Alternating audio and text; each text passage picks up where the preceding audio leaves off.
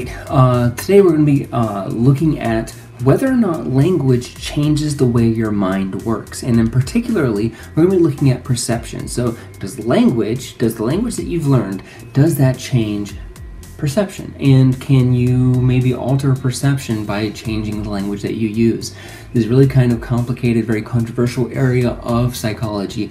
Uh, so I'm going to try to, to be uh, as conservative and as skeptical as I can uh, moving forward. So today we're going to be looking at this question of the Whorf hypothesis. So, uh, number one, um, do we all see the same colors? That's going to be where we're going to start off. We're going to uh, launch from that into what the Whorf hypothesis is, what are the different variations. There's a strong Whorf hypothesis and a weak Whorf hypothesis, and then we're going to wrap it up by looking at the current evidence for both of these ideas to see what kind of uh, what kind of validity or what kind of truth we can find in these theories.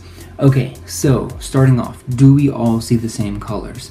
This is a really complicated question because the answer uh, is unfortunately yes and no. Um, so stick with me. Uh, yes, we do all see the same colors. This is because we have the same kind of cones, the same kind of rods, the same kind of eye shape, the same lateral geniculate nucleus, the same kind of visual cortex uh, that everyone else on the world has, regardless of you know your race, regardless of your ethnicity, regardless of your religion, or regardless of uh, you know your your background or the language that you've learned we all have the same kind of eye, so we all kind of detect light the same way that you know your neighbor does, or someone completely across uh, the other end of the world. So yes, we do all see the same kinds of light, but and this is where it gets kind of tricky. Is really impossible for us. Um, to, and this kind of boils down to semantics almost, uh, it's really impossible for us to verify whether or not the same colors that I see are the same colors that you see. So, for example, take this color right here, this blue. How do you know that this blue that you see is the same blue that I see? Uh, yeah, we might be able to agree that this color is blue, but how do you know that what I am seeing and what I'm perceiving in my mind's eye isn't actually what you would consider orange? Uh, or vice versa. Maybe um, you know you see this as orange and I see it as blue, um, but we both call it blue because that's just what we've learned um, there's really not a good way to to test against that. It's more of a philosophical argument, and because it is subjective like that, there's not really a good way uh, for us to to test it. It's kind of a thought experiment more than anything else. But it leads us into this idea that maybe there are certain things that uh, that we perceive differently, and that's what a lot of sensation and perception is about, right? It's about how we individually perceive the world differently from one another, even though the way that we detect the world is largely the same. Our eyes are all pretty much the same unless you know you need glasses or you know maybe you're colorblind and, and to some colors or something like that but for the most part we all see roughly the same okay so this is where i'm going to take a little bit of a pause and talk about why this kind of uh, why this research is controversial. It's controversial because uh, uh, the the kind of the people who are uh, against it will say that it is kind of like a um, uh, scientific colonialism. That this research is all about proving that one language is better than another language, uh, and that's absolutely. Um, that I mean that's not my read of it, uh, and that's certainly not what I'm trying to talk about here. Um, obviously, there's not a, a one language is better than others. They're all good at different things, right? Um, so just keep that in mind as we move forward. I'm not trying to I'm not trying to speak on any you know any language is better than any other language. Um, okay, so what is the Whorf hypothesis? The Whorf hypothesis is the idea that language can influence your perception, and in particular, your visual perception.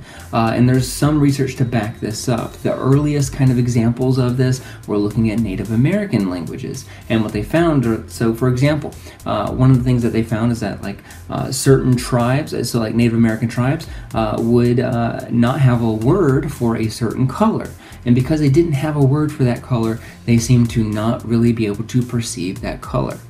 So, for example, if you had never learned the word brown, then you would not perceive the word, you, sorry, you would not perceive the color brown. That's really wild to think about, right? Big if true, right? That would be, you know, incredible if that's true. And it's not necessarily true. Uh, the truth is a little bit more, um, a little bit more nuanced than that. And so the strong Whorf hypothesis uh, asserts that basically you can change your entire perception simply based on you know the words and the languages that you've learned. that the colors that you see, shapes and weights and distances are all different fundamentally based on uh, the, the language that you've learned. Now, the evidence against that um, is that simply that we know that there are people who don't have access to language. Um, so, for example, uh, if some you know if someone grew up not learning a language, which you know. Uh, there are cases of I mean, people who are isolated, people who are abandoned, um, uh, that they can grow up w- without language, but still be able to, you know, perceive the world, even though they don't have language. So there's a lot of evidence against the strong Whorf hypothesis. It's largely been debunked in a lot of different ways. Um, but there's also the weak Whorf hypothesis, which is kind of like the Whorf, it looks like diet Whorf or something like that. Uh, and what the, uh, the weak Whorf hypothesis kind of asserts is that, uh, okay, language doesn't completely shape your perception, but it may influence it to some degree. And uh, the, the kind of one of the the, uh, the, the good pieces of evidence for this uh, involves a basic memory task. And so, for example, you see this this color hue right here. Think about that color hue. I'm going to take it away, and then I'm going to show you uh, two other colors right here. Okay, so which of these two colors did you see initially? Um, now, this should be a pretty easy judgment for you to make. And the reason why it's an easy judgment for you to make, especially if you are a native English speaker, is that we have very good words to describe the differences between these two colors. We have good color boundaries uh, uh, or color categories to distinguish blue versus green, and so we perceive there to be a pretty good difference between these two things. And so our memory for that first hue, we know which one it was, right? Um, but let's try a, a, slightly more tricky example. All right, so think of to take a look at this hue. I'm to take it away, and I'm going to show you two other hues. Now, this one, this this distinction is a little bit harder. It should be a little bit harder for you to uh, discriminate which of these was the first one that you saw. And the reason for that is because they are both within the same kind of color name. We don't have a good. It's not as simple as blue versus green like it was in the other time. We don't have two categories for these two kinds of blues so or greens, whatever word you want to use. And so memory for this can be a little bit trickier. Now, if we want to look at how how how different these colors are, they're not that different, you know, based purely on their hue. There's not you know any difference here compared to the first pair that you saw. The difference though is that we can easily categorize these two and not, uh, or sorry, we can easily categorize the first two, but not these two. Um, okay, so uh, other examples for this uh, more of an applied example is that, uh, that, kind of gets brought up a lot is that uh, Rush, the Russian language, for example, has uh, at least two distinct colors for blue, and these are words that can easily group a light blue versus a dark blue, and they use them very easily. Um, but they don't. But Russians don't have a good word uh, for pink. Um, and so, uh, if I were to show you a red and a pink, uh, and being an English speaker, you would say these are two different colors. Um, if I were to show this to to someone who speaks Russian, they would say that yeah, they're the same colors, but they're not really. They're you know the same kind of color, but they're not distinct.